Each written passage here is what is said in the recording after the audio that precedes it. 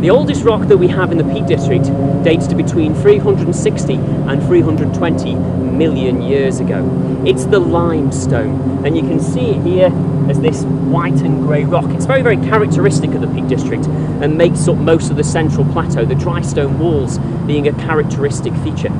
When this rock was laid down, we were part of the continent of Laurussia, which was lying just south of the equator.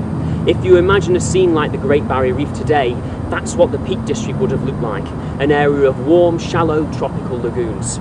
Within these lagoons was prehistoric life. It was literally teeming with it. And the creatures that you could find there are illustrated on my t-shirt, from brachiopods and ammonites to crinoids. And all of these had shells, and the shells were made of calcite. When they died, they drifted to the bottom of the sea, and over time their shells were compressed to form the rock that we have around us today. It comes as quite an amazement for people to realise that so much rock across the country could have been created from prehistoric creatures. But the most fantastic and impressive thing that these organisms laid down lies just over here.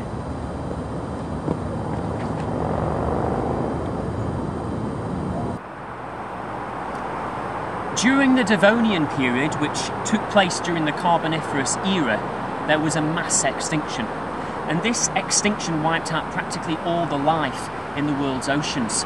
Now, I've just told you that the limestone rock itself was made out of these ancient sea creatures, but although they disappeared, the rock continued to be laid down.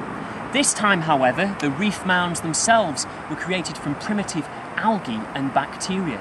Now, you may think that such small organisms wouldn't be able to build rock of any great size, but prepare yourself for a surprise. We are on High Tor and take a look down there. The colossal face of limestone rises to a fractured 400 foot above the flow of the River Derwent. These prehistoric algae and bacteria created this enormous carbonate reef mound. So big is its size that it's actually altered geological futures. For example, the River Derwent here that now runs in this massive gorge didn't originally follow this path. There's argument at the moment about whether this massive reef mound diverted the flow many millennia ago.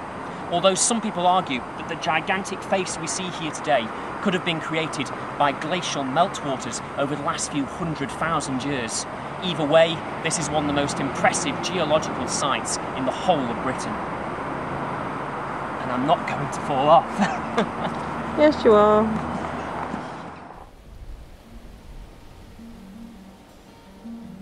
Anyone visiting a place like this can't help but be overwhelmed by the ever-present imposing force of rock. The only people brave enough to assault its Leviathan walls are the climbers, though thanks to the Victorians, we can get even closer still to the thrusting cliffs.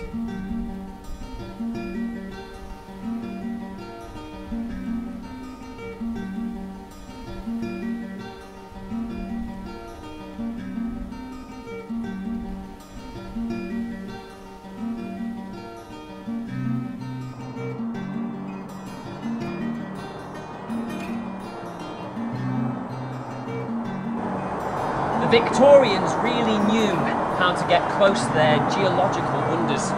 Health and safety wouldn't allow this today. It's called Giddy Edge and it was constructed during the mid 1850s by Peter Arkwright, who was the son of Sir Richard Arkwright, and it's part of his massive Victorian pleasure grounds above Matlock Bath.